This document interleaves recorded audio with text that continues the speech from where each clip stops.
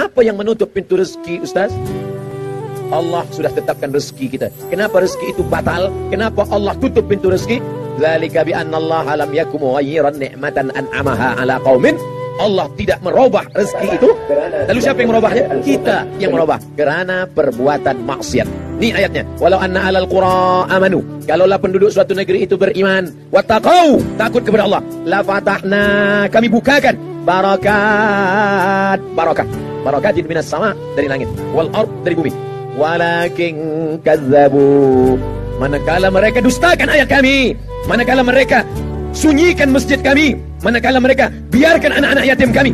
Akhalnahum. Kami cabut. Kami cabut. Kenapa Allah cabut barakah?